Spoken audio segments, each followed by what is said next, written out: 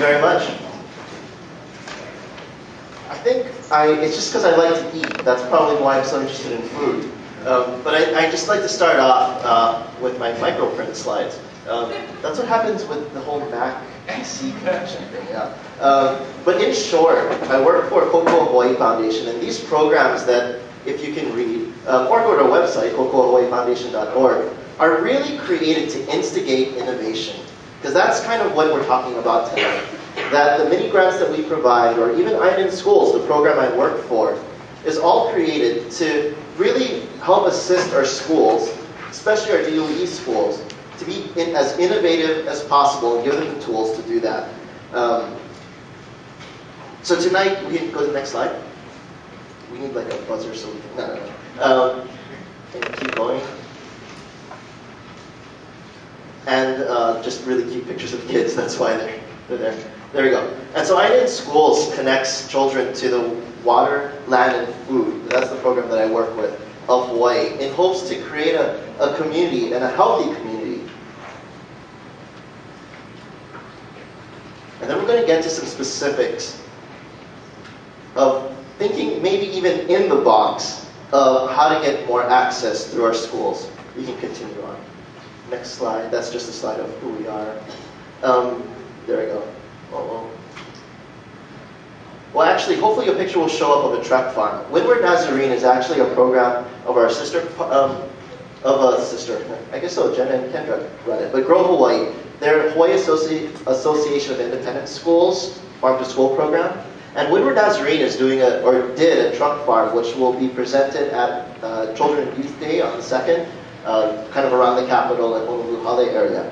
And it's a novel way to get more access to different communities. Um, it's literally a truck farm. Um, it's a little different than in the picture. This is a picture from the video. But they actually have, in, in the Windward Nazarene, just growing beds placed in a, in, a, in a truck that they can drive almost anywhere. The principal donated a truck to the school, and you can get literally fresh cut greens anywhere in the island.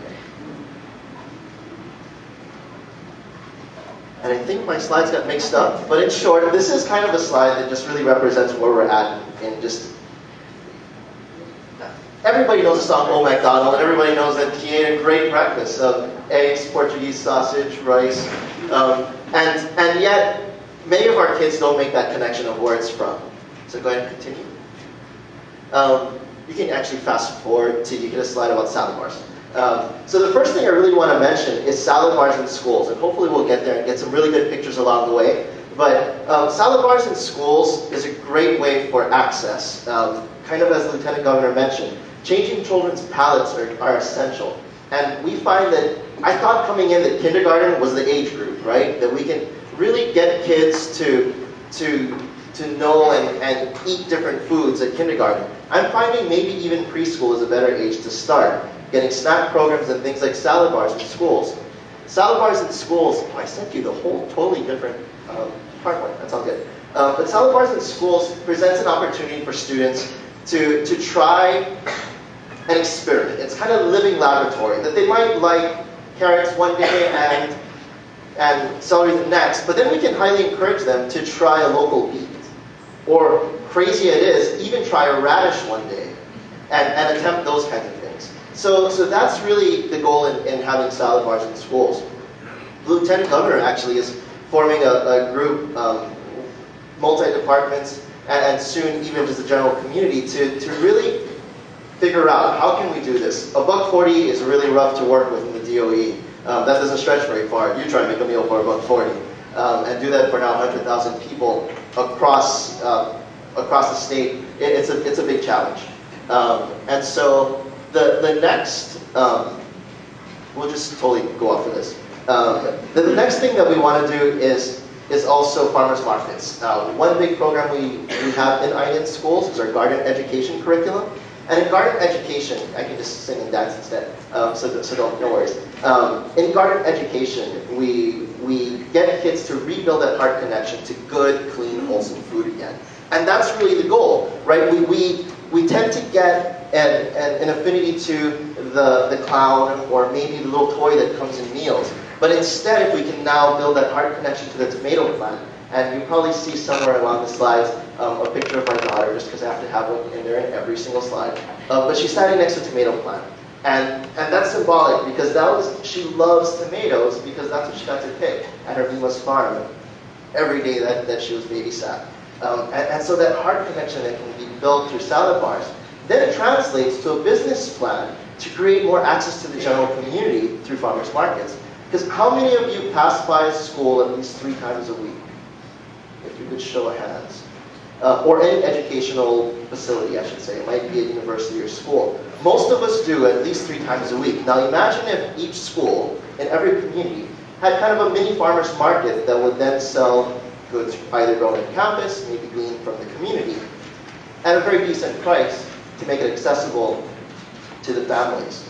So that's the other thing. And it's all wrapped in a package that says, well, education. Because having a kid come up with a business plan to figure out how much you should price a tomato or price uh, an eggplant or the kale is a great is, is, is a great way to wrap it um, some career, uh, future career education, some social studies, um, great stats or early stats work. Um, so, so it's a great way to, to do that. Um, and along with that is a few of our schools have actually started CSA programs, so Community Supported Agriculture.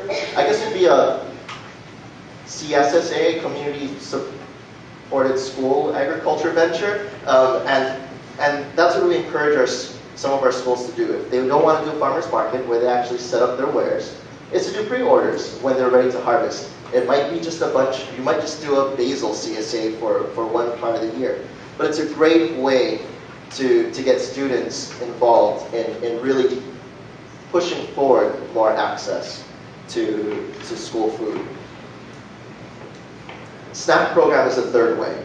Um, we, we found through a generous grant through Kaiser last year, um, kids actually do like fruits and vegetables. Um, it's just kind of how it's presented to them. To them.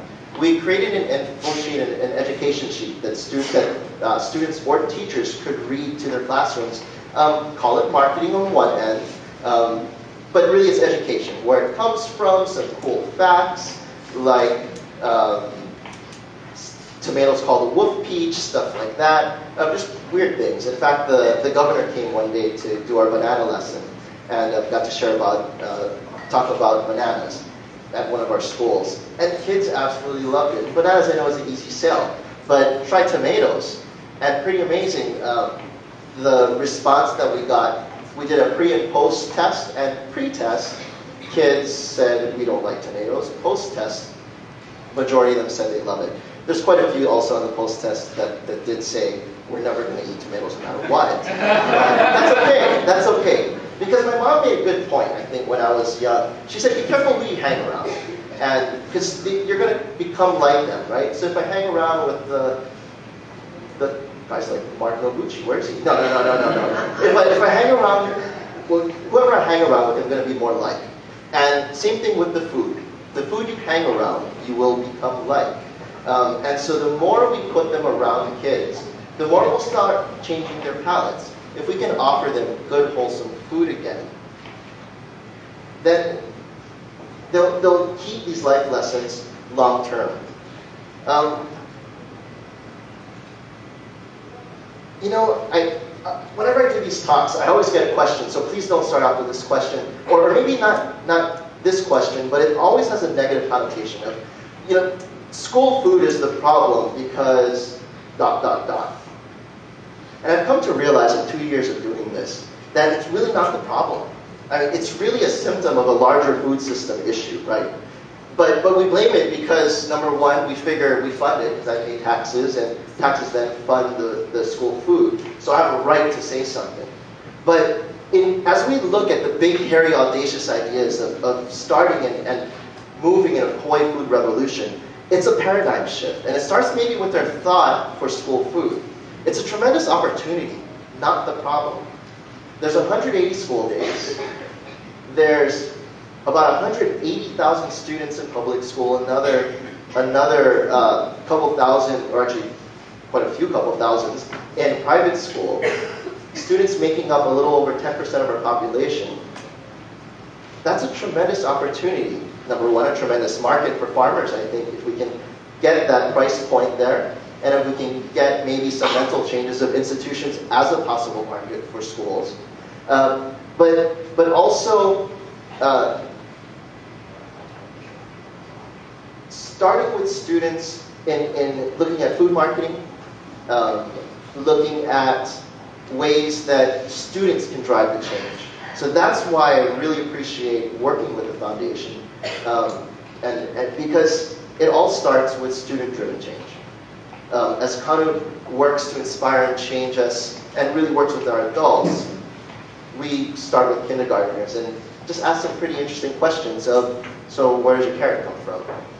And uh, if you look at Windward Nazarene or Grow website, great video Windward Nazarene. They showed clips of it on this morning's news, and um, they asked where peaches and some other mainland foods come from.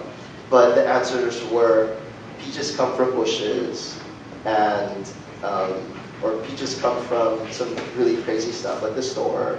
Uh, and we hope that that really together we can we can enact change. That we can connect kids to get back to the land, waters, and food, to create a healthier and thriving, and to steal Kaiser's word for, for a bit, but, but not only to sustain ourselves, but to create a thriving community again. Um, thank you very much, and I think I just made it time for the red sign. But thank you very much.